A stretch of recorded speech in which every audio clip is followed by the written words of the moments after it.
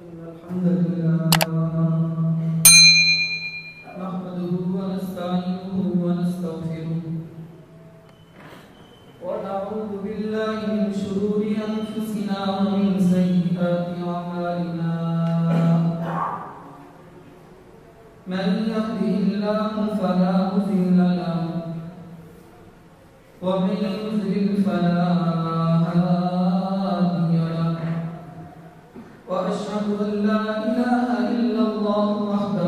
شريك له.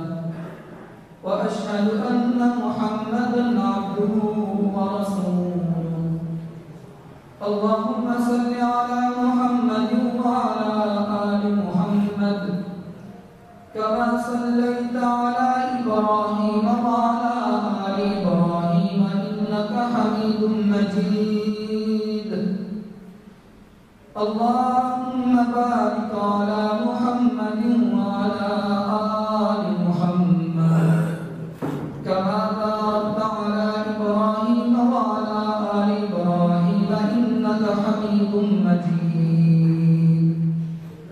أعوذ بالله السميع العليم من الشيطان الرجيم. بسم الله الرحمن الرحيم. ظهر الفساد في البر والبحر بما كسبت أيدي الناس.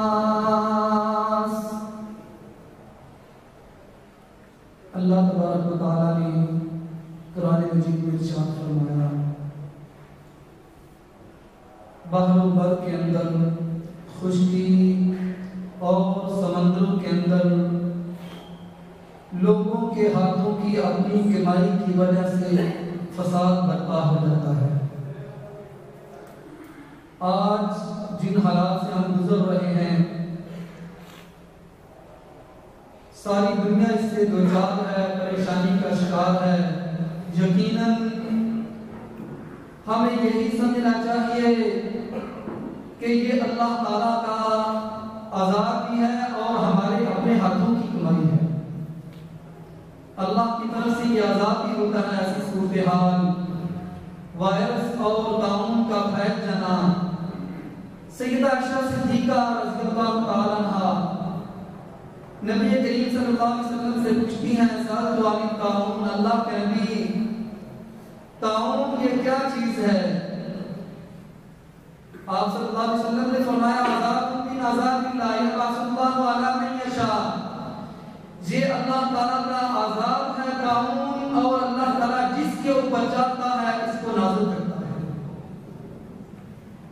ورحمت للمؤمنین لیکن یہ ایسی بیماریاں اللہ کی طرف سے مومن لوگوں کے لیے، اللہ کے مومن بندوں کے لیے رحمت ہوتی ہے اللہ کے مومن بندوں کو اگر یہ پہنچے اور ان کی موت اس کے اندر واقع ہو جائے۔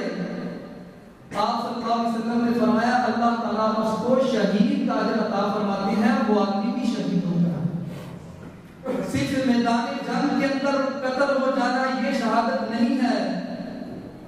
فرمایا، اچانک کی بات گرتی ہے چھت گرتی ہے، یا آدمی ہلاک ہو جاتا ہے، شہید ہے۔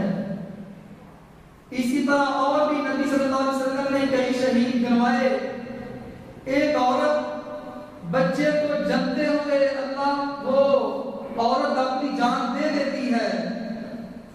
اللہ تعالیٰ اس کو بھی شہید کا اجر عطا فرما دیتے ہیں، وہ عورت بھی شہید عورت ہوتی ہے۔ اسی طرح تعاون سے فرمایا، من مات فی تعاون فهو شہید۔ تعاون سے وبا سے جو آدمی مر جاتا ہے، وہ بھی اللہ تعالیٰ کے ہاں شہید گنا جاتا ہے اور وہ لوگ جو ایسی صورتحال کے اندر اللہ تعالیٰ ان کو محفوظ رکھتا ہے، لیکن وہ لوگ اللہ پہ توکل کرتے ہوئے اسباب کے اوپر عمل کرتے ہیں، اپنے آپ کو گھروں کے اندر اور شہروں کے اندر اپنے محلوں کے اندر اپنے آپ کو محسوس کر دیتے ہیں۔ گھروں کے اندر اپنے ٹھکانہ بنا لیتے ہیں۔ نبی صلی اللہ علیہ وسلم نے فرمایا، اللہ تعالیٰ اس آدمی اس آدمی کے لیے بھی شہید کا اجر ہے۔ یہ کوئی معمولی اجر نہیں ہے۔ اللہ کے رستے کے اندر قتل ہو جانا، اپنی جان دے دینا اور اپنے گھر بیٹھے ہوئے اللہ نے حالات ایسے پیدا کر دیے، اپنے حالات کے اندر محصور ہو کے رہ جانا۔ اس سے بھی اللہ تعالیٰ شہید کے برابر کا اجر عطا فرماتے ہیں۔ اور یہ جو آج کل ہمارے یہاں صورتحال ہے نبی کریم صلی اللہ علیہ وسلم کی اس حدیث سے واضح طور پہ ہم کو سبق مل رہا ہے۔ بلکہ صحابہ اکرام رضی اللہ عنہ مجمعین سے ایسی واقعات ملتے ہیں کہ آپ سنے تو آپ دم رہ جائیں گے کہ صحابہ اکرام کے اس دور کے اندر ایسے فیصلے کیے تھے اور اللہ تعالیٰ نے اس کے سوالات اور اس کے فوائد تمام لوگوں کو پہنچائے۔ تھے شام کے علاقے کے اندر صحابہ اکرام کے زمانے میں حضرت عمر فاروق رضی اللہ تعالیٰ کی خلافت کے اندر تعاون کی وبا آئی سیدنا ابو دادا بن جراح رضی اللہ تعالیٰ عنہ، جس کو اس امت محمدیہ کا سب سے زیادہ امانت دار ترین انسان کہا جاتا ہے۔ نبی صلی اللہ علیہ وسلم نے ان کو امین الامت کہا، وہ اس بیماری کا شکار ہو گئے۔ تعاون پھوٹا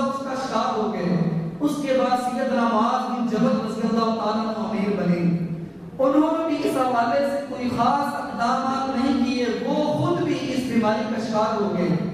ان کے بعد سیدنا عمر بن العاص رضی اللہ تعالیٰ عنہ شام کے امیر بنے اور تمام لوگوں کو خطبہ دیا اور ان کو کہا کہ تم سارے لوگ پہاڑوں کی چوٹیوں کے اوپر چلے جاؤ۔ لوگوں نے اس کے اوپر عمل کیا، پہاڑوں کی چوٹیوں کو اپنا ٹھکانہ بنا لیا۔ اللہ تعالیٰ نے جلد ہی اس بیماری کو ان سے دور کر دیا۔ اسی طرح حافظ ابن حجر رحمہ اللہ اس حوالے سے فرماتے ہیں۔ کہتے ہیں کہ کہرا کے علاقے اندر کہرا کے علاقے میں اسی طرح تعاون آیا حافظ ابن حجر رحمہ اللہ وہ آتے ہیں کہ انہوں نے ساڑھے سات سو صفحات کی کتاب لکھی ہے۔ تعاون کے بارے میں؟ وبا کے بارے میں۔ ساڑھے سات سو صفحات کی کتاب لکھی ہے۔ اس کے اندر لکھتے ہیں کہ کہرا کے علاقے کے اندر اسی طرح تعاون آیا اور روزانہ کی تقریباً چالیس اموات ہوا کرتی ہیں آپس ابن حجر کی اپنی تین بیٹیاں اسی تعاون کی بیماری کے اندر، اس دور کے اندر اس کا شکار ہو گئی ابن حجر رحمہ اللہ کہتے ہیں کہ لوگوں نے روزانہ کی تقریباً چالیس اموات ہو رہی تھی لوگوں نے یہ کام کیا کہ اکٹھے ہوتے ہیں اور اللہ تعالیٰ سے دعا کرتے ہیں۔ لوگ باہر میدان کے اندر سارے جمع ہو گئے، اللہ تعالیٰ سے دعا شروع کی۔ اس کے بعد روزانہ ایک ہفتے کے بعد ہی بیماری اور پھیلنا شروع ہوئی اور ایک ہفتے کے بعد روزانہ ایک ہزار لوگ شروع صرف لوگوں نے احتیاطی تدابیر نہیں اپنائی تھی، بلکہ جمع ہونا شروع ہو گئے ایک جمع کے ایک جگہ پہ تو اس کے لوگوں کو یہ نقصان ہوا۔ تو اس لیے محترم بھائیوں، اپنے گھروں کے اندر نماز پڑھنا گھروں کے اندر جمعہ ادا کر لینا اور چند لوگوں کا جو قریب ہے مسجد کے اندر، اگر مسجد کے اندر آ جائے، نماز تھوڑے لوگ ادا کر لیں، مسجد کے اندر بھی تو یہ کرتے۔ ہیں اپنے گھروں کے اندر نماز ادا کر لیں۔ تمام علماء کا اس بارے میں فتوا ہے کہ اس کے اندر کوئی اجر نہیں، کوئی حرج نہیں ہے۔ اللہ تعالیٰ ان کو مکمل اجر عطا اور احتیاطی تدابیر جو بتا رہے ہیں، ان کے اوپر بھی عمل کرنا چاہیے۔ مکہ اور مدینہ کے اندر بھی سعودیت کے اندر بھی۔ انہی احتیاطی تدابیر کو اپنایا گیا ہے۔ بعض لوگ یہ کہتے ہیں کہ خانہ کعبہ کا طواف رک جائے گا، حج رک جائے گا، یہ قیامت کی نشانی نبی کریم صلی اللہ علیہ وسلم کی یہ فرمان ضرور موجود ہے کہ آپ صلی اللہ علیہ وسلم نے فرمایا کہ قیامت سے پہلے بیت اللہ کا حج مفقود ہو جائے گا۔ یہ واضح طور پہ نبی کریم صلی اللہ علیہ وسلم کی حدیث ہے۔ قیامت کی نشانیوں میں سے یہ ہے۔ لیکن یہ بھی یاد رکھیں کہ یہ قیامت ہوگا جب حضرت عیسیٰ علیہ السلام آئیں گے اور حضرت عیسیٰ علیہ السلام کے ساتھ صحیح اللہ کے مومن بندے ان کے ساتھ شامل ہو جائیں گے اور آپس کے اندر دجال وغیرہ سے جنگ ہوگی۔ نبی کریم صلی اللہ علیہ وسلم نے فرمایا، اس کے بعد اللہ تعالیٰ ایسی مخلوق یا جوج مجوج کو بھیجے گا، اللہ تعالیٰ حضرت عیسیٰ علیہ السلام کو یہ حکم دے کہ میں اپنی ایسی مخلوق کو، اپنے ایسے بندوں کو بھیجنے والا ہوں، جن کا مقابلہ کرنے کی کسی کے اندر سخت نہیں ہے، میرے بندوں کو، اپنے ساتھ لو دور پہاڑ کے اوپر چلے جاؤ۔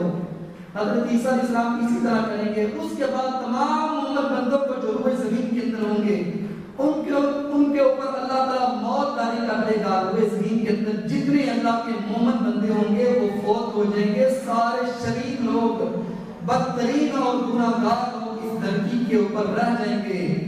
وہ حج کی ان کو توفیق حاصل نہیں ہوگی۔ ان لوگوں کے اوپر اللہ تعالیٰ قیامت نازل فرمائے گا۔ اس اب تو ایسے حالات ہیں کہ لوگوں کے دل تڑپتے ہیں کہ ہم حج عمرے کے لیے جائیں۔ اللہ تعالیٰ سے دعا ہے، اللہ تعالیٰ ہمیں ان باتوں کے عمل کی توفیق دے۔ اور اس بیماری سے اللہ تعالیٰ ہم کو محفوظ رکھے۔ سبحان ربک رب العزت عما یصفون و سلام